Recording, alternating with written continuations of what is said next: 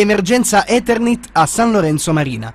Sono diverse le segnalazioni ricevute dai cittadini larenziani riguardo questa vecchia fabbrica di pipe e mattoni che vedete nelle immagini.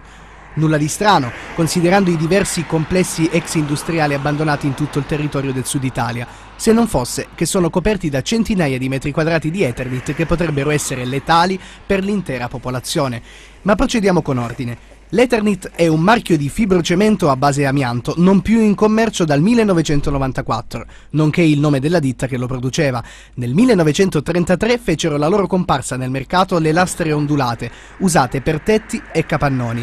Questo materiale venne impiegato anche in scuole, ospedali, palestre, cinema, oltre che in tutti i settori industriali, anche a San Lorenzo Marina, che nel 1949 vide nascere la più grande fabbrica di pipe in Calabria, tra le più importanti di tutto il meridione. Dall'archivio degli eredi dell'allora proprietario, infatti, scopriamo che nel momento di massimo splendore la fabbrica arrivò ad occupare ben 150 addetti. Già nei primi anni 60 era noto in tutto il mondo che la polvere di amianto generata dall'usura dei tetti provocasse una grave forma di cancro, il mesotelioma pleurico, oltre che asbestosi, malattia polmonare cronica dovuta all'inalazione di fibre di amianto.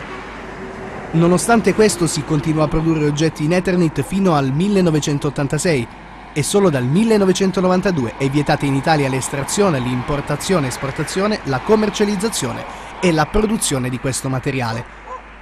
Per legge lo smantellamento di tetti o altri manufatti che contengono amianto è obbligatorio solo se si trovano in uno stato di degrado tale da poter formare delle particelle che possano essere inalate e quindi possano essere letali ed è il caso della fabbrica di pipe di San Lorenzo Marina Qui infatti ci troviamo di fronte ad una emergenza gravissima, con centinaia di metri quadrati di Eternit prossimi alla disintegrazione ed in via costante di deterioramento, con molte lastre già spezzate e quindi pericolose.